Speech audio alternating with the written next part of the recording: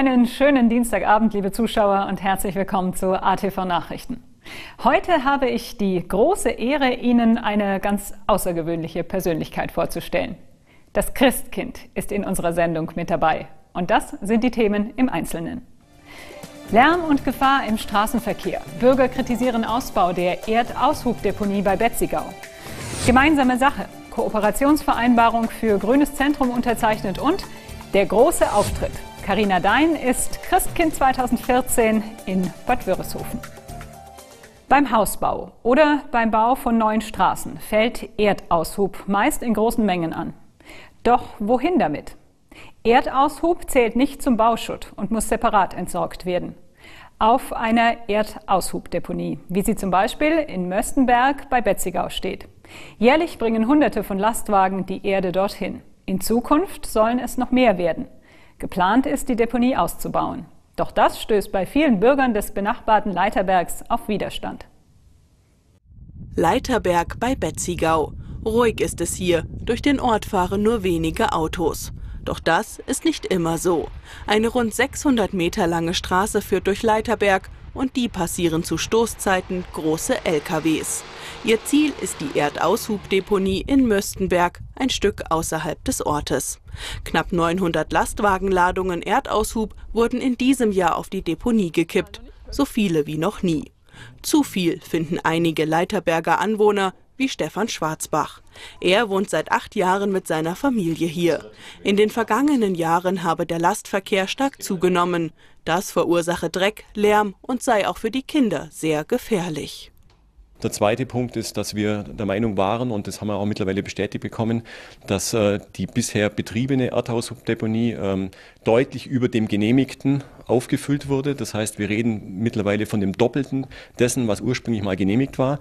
Auch dort wurde ganz offensichtlich seitens der Gemeinde und seitens des Bürgermeisters wissentlich zugesehen und ähm, in, ent, entsprechend hat der Leiterberger Bürger den doppelten Verkehr gehabt zu dem, was ursprünglich genehmigt war. Seit 2005 besteht die Deponie. Das Gelände gehört der Gemeinde, Vertragspartner ist eine Firma aus Sulzberg. Die will nun die Erdaushubdeponie erweitern.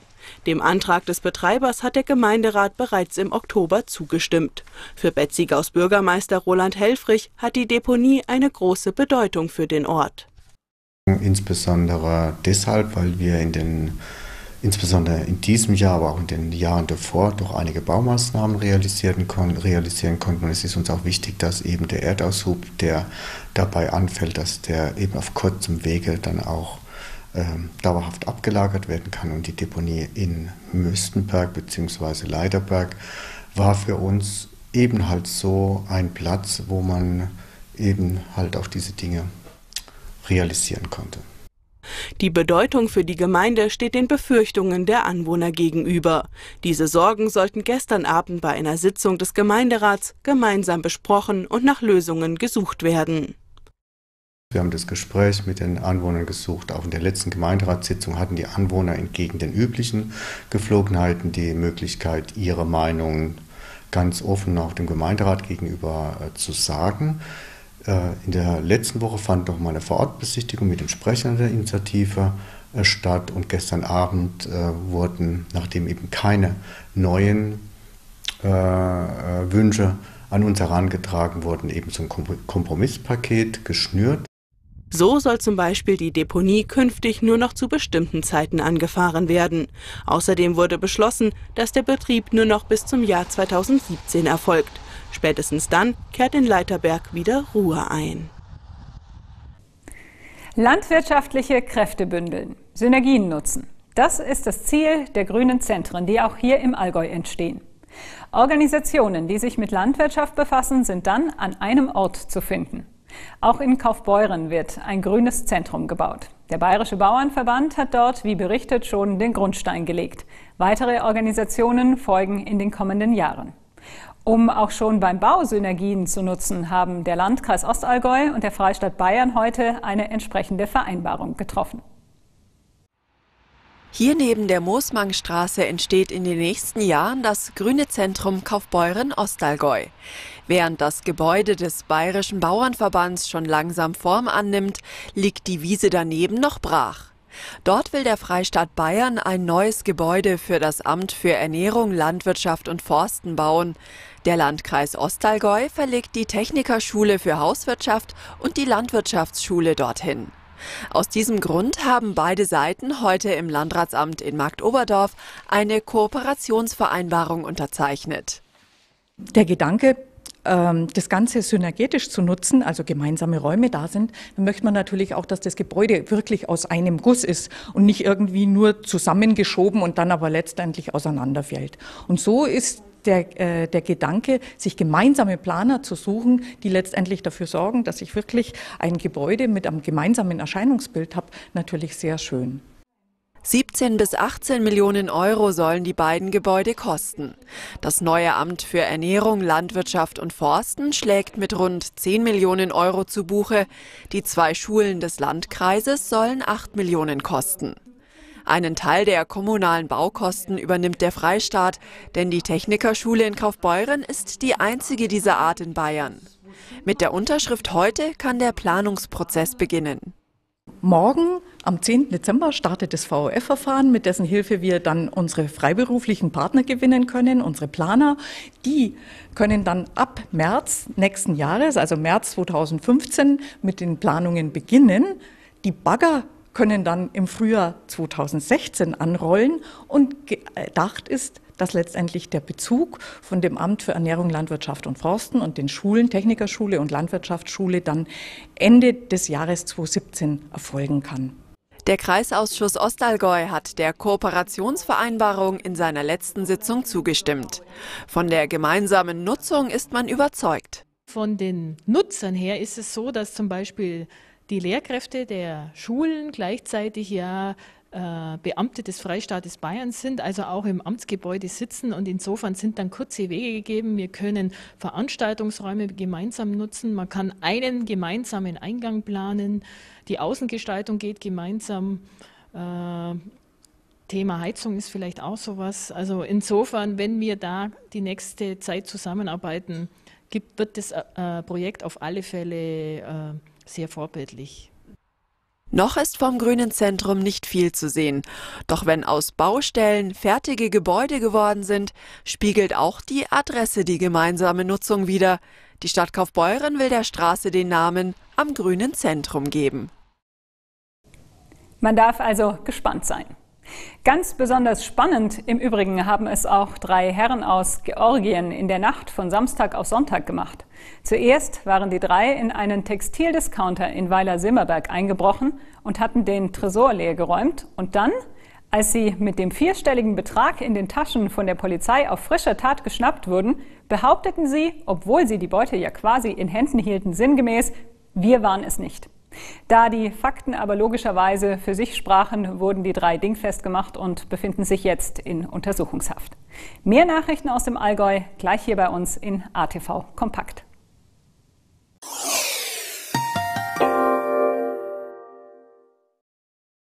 Zwei Wochen nach der Absaugung fangen wir mit der Nachbehandlung an. Die läuft über sechs Wochen, wo die Patienten in unserer Klinik dann regelmäßig betreut werden. Durch die Nachbehandlung gehen die Schwellungen schneller weg, die Haut wird straffer und die Ergebnisse gleichmäßiger.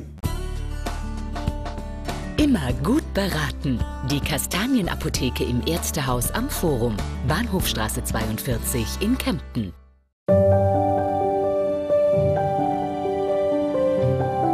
Einem CW-Fotobuch verschenken Sie wahre Freude und verwandeln Ihre Geschichten in ein persönliches und ganz besonderes Geschenk. Denn Geschichten erzählt man am besten mit CW. Mein CW-Fotobuch. Mein Leben. Jetzt einschalten. Das neue RSA Radio. Schon gehört? Neu im Radio. Der beste Musikmix aus vier Jahrzehnten. Das neue RSA Radio. Verschenken Sie ein Jahr voller unvergesslicher Momente. Mein CW-Kalender. Super Schnee. Super Schnee. Skifahren mit Schneesicherheit vor der Haustüre.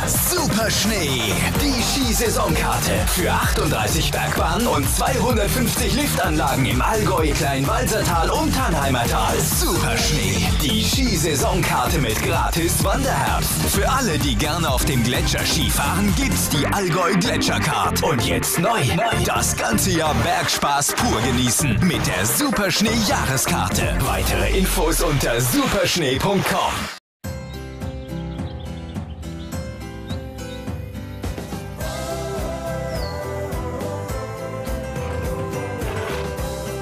Waffenbär. Das Haus der Jagd und Tracht in Kempen. Jetzt neu. Die Super Schnee Jahreskarte. Das ganze Jahr Bergspaß pur erleben mit der Super Schnee Jahreskarte. Weitere Infos unter superschnee.com.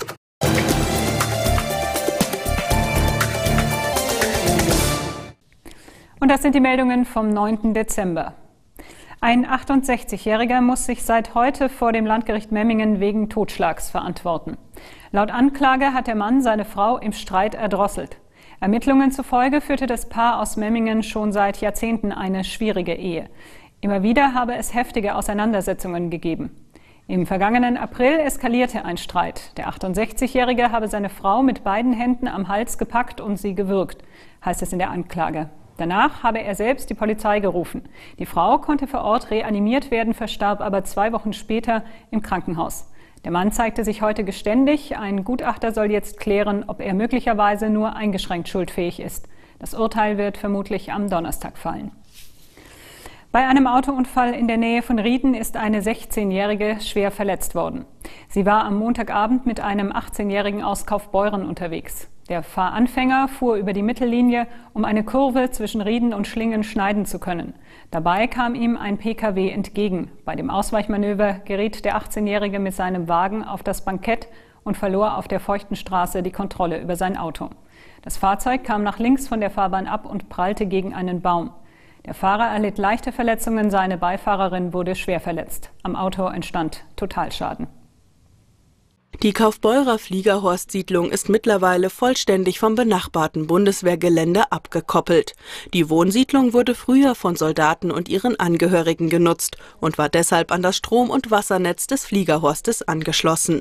Mittlerweile gehört sie der privaten Delta-Liegenschaftsverwaltung und muss sich deshalb autark versorgen. Bei der Einrichtung einer eigenen Heizanlage kam es aber zu Verzögerungen. Die Bewohner mussten teilweise wochenlang ohne Heizung leben. Aus diesem Grund hat die Verwaltung den Mietern jetzt eine Mietminderung in Aussicht gestellt. Am Montagabend wurden im Bereich Lechbruck zwei Jugendliche von Beamten der Polizeiinspektion Füssen festgenommen. Sie werden verdächtigt, für über 30 Einbrüche in der Region verantwortlich zu sein. Betroffen waren davon hauptsächlich Vereinsheime, Schulen und Kioske rund um Füssen. Einer der beiden Verdächtigen ist 19 Jahre alt und kommt aus dem Ostallgäu. Er war vermutlich als Fahrer bei den Einbrüchen dabei. Der zweite Verdächtige ist erst 14 Jahre alt und stammt aus Oberbayern. Vermutlich hatten die beiden aber noch weitere Komplizen. Bei den Einbrüchen wurden rund 2500 Euro Bargeld erbeutet. Der hinterlassene Sachschaden liegt bei 6500 Euro. Die Verdächtigen müssen sich nun vor Gericht verantworten. Auch das Jugendamt wurde eingeschaltet. Ein Geschäftsführer eines Reiseunternehmens aus dem Unterallgäu ist wegen Veruntreuung von Arbeitsentgelt zu einer Haftstrafe von elf Monaten verurteilt worden. Die Strafe wurde zur Bewährung ausgesetzt. Das Amtsgericht sah es als erwiesen an, dass der Mann Gelder in Höhe von rund 260.000 Euro unterschlagen hat. Statt seine Mitarbeiter entsprechend anzumelden, griff er auf das sogenannte Phantomsplitting zurück.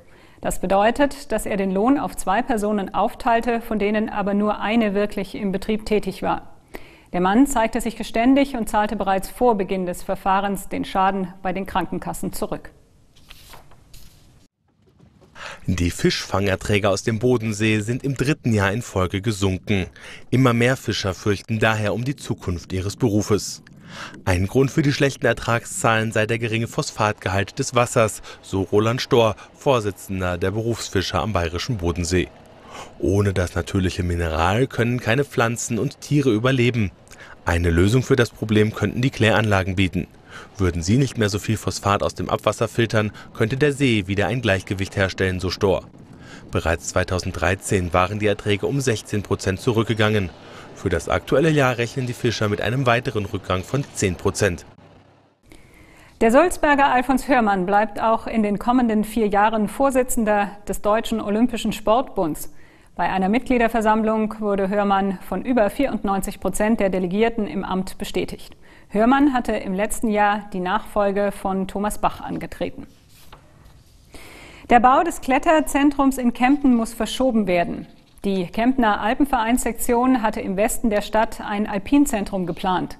Die Kosten würden aber aus dem Ruder laufen, erklärte Vorstand Norbert Grotz.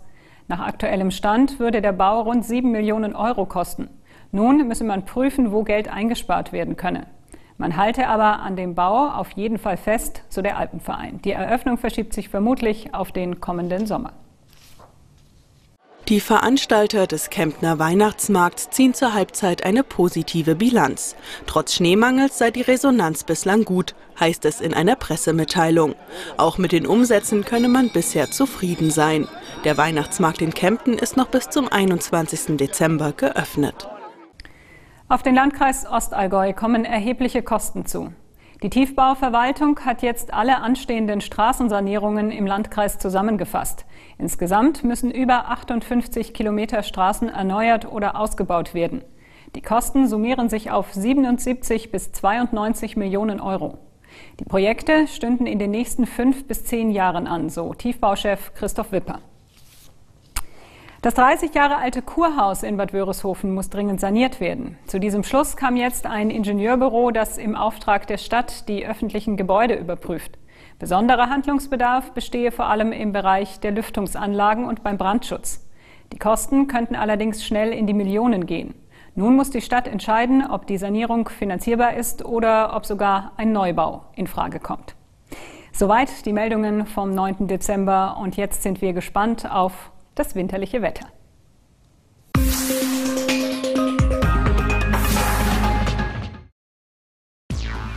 In der Nacht zum Mittwoch ist es teils bewölkt. Die Temperaturen sinken auf minus 4 bis minus 5 Grad.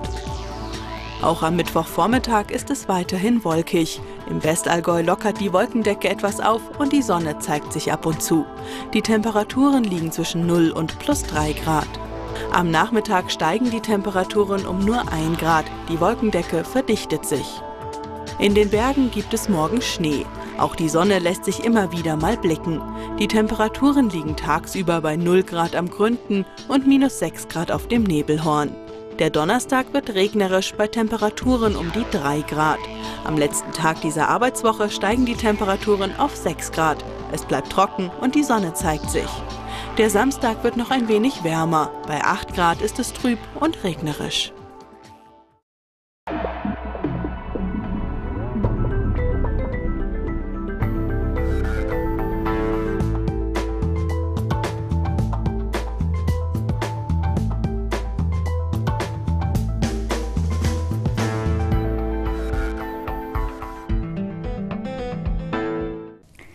In 15 Tagen ist es endlich soweit. Dann ist Heiligabend. Viele kleine und auch große Kinder fiebern diesem Tag bereits heute schon entgegen. Kein Wunder.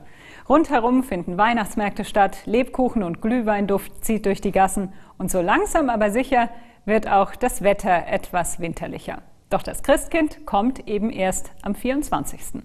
Außer natürlich zur Eröffnung der Weihnachtsmärkte. In Bad Wörishofen heißt das Christkind in diesem Jahr Carina Dein. Die Elfjährige durfte dort am Wochenende den Weihnachtsmarkt offiziell eröffnen. Ein letztes Mal noch den Eröffnungsprolog üben. In gut einer Stunde geht's für Karina Dein los. Dann darf sie den Weihnachtsmarkt in Bad Wörishofen offiziell eröffnen. Bereits im Sommer suchte die Kurverwaltung ein junges Mädchen, das am 6. Dezember den Christkindlesmarkt eröffnen soll. Also ich habe mir gedacht, ja, äh, ich kann es ja mal probieren, wenn nicht, dann ist es halt so. Ich fand es halt eine tolle Idee, dass es da halt so ein Christkind gibt. Und dann habe ich gedacht, ich kann mich ja mal bewerben. Ihr Bruder hatte ihr dabei heimlich geholfen, denn Karinas Mutter war von der Idee ihrer Tochter zunächst alles andere als begeistert. Weil ich eigentlich äh, nicht so begeistert war, weil die Karina schon so viel macht und ich habe gedacht, ja, dann die Enttäuschung, wenn es es nicht wird. Und dann hat sie ihren Bruder gefragt, ob er mit ihr die Bewerbung schreibt und hat sich beworben. Und aber für mich passt es jetzt schon. Ich, ich bin jetzt schon stolz, dass es ist. Karinas Eltern übten natürlich fleißig mit ihrer Tochter. Schließlich soll bei der Eröffnung alles glatt gehen. Dabei hatte die Elfjährige nicht viel Zeit, den Text auswendig zu lernen. Also ich habe den halt letzte Woche erst bekommen und dann habe ich da dann halt gleich angefangen, den auswendig zu lernen. Neben dem Texten muss selbstverständlich auch das Kleid des Christkinds sitzen. Karinas Eltern unterstützten ihre Tochter auch dabei tatkräftig. Doch alles kein Problem, beides passt. Jetzt kann ja eigentlich nichts mehr schiefgehen. Und die Nervosität hält sich ebenfalls in Grenzen. Also es geht mir ganz gut und ein bisschen nervös bin ich. Auch Karinas Mutter Gertrud wirkt recht ruhig. Noch. Ja, da ist man schon stolz als Mutter, wenn das Kind so mutig ist und sich da drauf stellt und spricht. Also ich glaube, ich hätte es als Kind nicht gemacht. Kurz vor 18 Uhr ist es dann endlich soweit. Die ganze Familie wartet schon gespannt auf den Auftritt von Karina. Pardon, vom Christkind. Liebe Kinder aus nah und fern, mit Freude will ich euch alle begrüßen. Nach Bad Wörishofen komme ich gern. Lasst uns die schöne Adventszeit genießen. Auf diesen Auftritt und den damit verbundenen Mut kann der Papa dann schon mal stolz sein. Sie hat zwar am Anfang ein bisschen warten müssen, weil der Bürgermeister längere Ansprache gehalten hat, aber es war ein, eine tolle Atmosphäre von der Beleuchtung und die, das ganze Ambiente ringsherum. Es war einfach super. Als Christkind hat man nach so einer Eröffnung natürlich noch jede Menge Fototermine. Karina kann sich daran schon mal gewöhnen, denn auch 2015 darf sie den Weihnachtsmarkt in Bad Wörishofen eröffnen.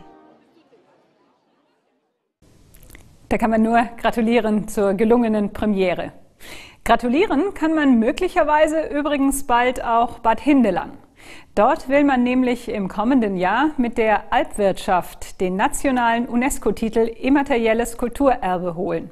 Dabei soll es um eine Auszeichnung für die Elbler gehen, die es geschafft haben, mit dem Ökomodell Hindelang Praktiken der Alpwirtschaft ins Tal zu verlagern und damit die Natur zu stärken. Aktuell werden mit dem Titel im Übrigen die Passionsspiele in Oberammergau ausgezeichnet. Und bei uns wird es gleich besinnlich und dafür sorgt auch heute der Mundartverein Allgäu.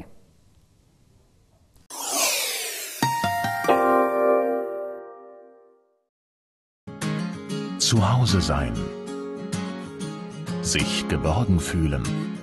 Füreinander da sein. Freude am Leben. Da bin ich daheim. Allgäu Pflege.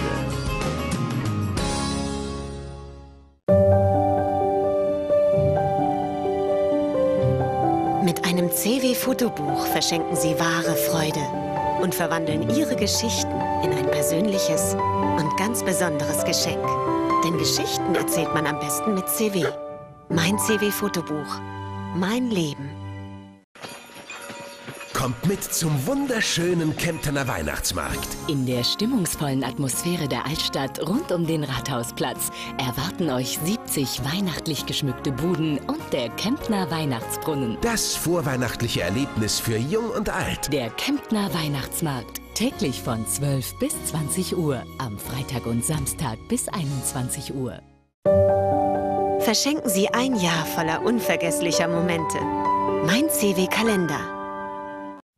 Erleben Sie den Allgäuer Presseball unter dem Motto Jubiläumsgala. Moderator Tillmann Schöberl führt durch die Ballnacht. Stargast ist die Sopranistin Anna-Maria Kaufmann. Lassen Sie sich von ihrer Stimme verzaubern. Flotte Tanzmusik spielt das Orchester Fink und Steinbach. Genießen Sie das Galabuffet mit Vorspeisen von Starkoch Christian Henze. Die Tombola zugunsten der Kartei der Not lockt mit hochwertigen Preisen. Lassen Sie sich verzaubern von der stimmungsvollen Atmosphäre auf dem Markt Oberdorfer Weihnachtsmarkt. In 40 weihnachtlich geschmückten Buden finden Sie Weihnachtsdekoration, liebevolle Geschenkideen, weihnachtliche Naschereien wie Waffeln, gebrannte Mandeln, Glühwein und vielerlei herzhafte Gaumenfreuden. Für die kleinen Besucher fährt täglich die Pferdekutsche und der Nikolaus mit seinen Engeln bringt eine Überraschung mit. Das bunte Rahmenprogramm stimmt auch Sie auf Weihnachten ein. Wer Kinder hat, vor allem kleine, der kennt die beliebteste Frage der Adventszeit sicherlich. Wann kommt denn jetzt endlich das Christkind? Oder wann ist denn jetzt endlich Weihnachten? Und jedes Mal versucht man da möglichst einfühlsam Antworten mit bald und warten zu geben. Und das Warten steht auch bei unserem heutigen Adventsversler im Mittelpunkt. Es kommt von Claudia Uhlemeier aus Moosbach und heißt Warte.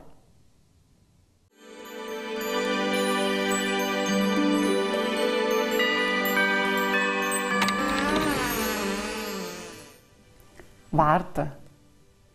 Etwas, was es kaum noch geht in einer schnelllebigen Zeit, vor lauter Fußler, Hetze, Weile, Starten, ist einfach mal auf etwas warten. Als du aber gleich und möglichst schnell, dank Handy bist sofort zur Stelle. Warten musst auf niemand und nix, perfekt getaktet, als Gott fix. Was bestellst, das ist in Kürze da. Verpasst den Bus, ruf Schweile an. Auf Fotos siehst sofort und gleich, ohne die Entwicklerei. Und dauert's lang, dann machst du einen Druck. Ich hab keine Zeit, mach schnell ruckzuck. Warten musst auf niemand und nix. Perfekt getaktet, als Gott fix. Weil mir alle vorwärts gehen, fürs Jetzt und da keinen Blick mehr händ und keine freie Zeit mehr kennet, hand mir's Warten glatt verlernet. Warten, das bissle Zeit zum Hau, it handle einfach kommen lau. Und das große Gefühl vom Glück, von dem gewissen Augenblick, wo das Ersehnte endlich kutt, geht's heut nummer einfach fut. Das Warten und Gelassenheit schenke der Vorweihnachtszeit das gewisse Kribbler und die innere Ruhe und Vorfreit auf Weihnachten zu. Lebkuchen, Stoller, Adventskalender geht's heutzutage schon ab September. Bei 80 Grad und Sonnenschein wandert's in die Einkaufswege rein. Das Warten mit dem Leiblesessen bis zum Advent ist längst vergessen. Die Spannung davor und die Freude, wenn's gut, geht's heute nummer einfach fut. Kaum Gott der November an, sind dann schon die Christbeim dran. Der schiene Glanz von Lichterketten, von Kugler, Strohstern und Lametta ist, du kannst ja jetzt schon sehr, an Weihnachten nichts Besonderes mehr. Auch privat wird früher gestartet und it bis heilig Abend gewartet. Denn stell mir früher auf den Baum, sonst rentiert das sich ja kaum. Das Warten bis zum Heiligabend, in der Stube dann zabend, wenn's Licht der Strahl es erst mal kutt, geht's oft nummer einfach fut. Und aus Schenken wird u gelogen bei manchen Leid schon vier gezogen. Weil zwei Nächte han so keine Zeit. Kann sein, dass schon was anders geht. Man fliegt in Urlaub, naus ins Weite und muss Silvester vorbereiten. Bloß die Geburt vom kleinen Kind, das heißt alter Friede bringt, der steht fix im Kalender, denn am 24. Dezember ist Termin. Die Geduld muss jeder hau. Den Tag, den muss man kommen lau. Bloß warten drauf, das fällt auch schwer. Darum rennen wir ständig hin und her mit Kaufen, Bachen, Schmücken, Putzen. Die Wartezeit, die muss man nutzen. Warten, das bissle Zeit zum Hau, it handle einfach kommen lau ein wenig Ruhe für den Advent, dass man eine Weihnachtsvorfreude kennt und das große Gefühl vom Glück, von dem gewissen Augenblick, wo das Ersehnte endlich geht. Das wünsche ich euch für die Advents- und Weihnachtszeit.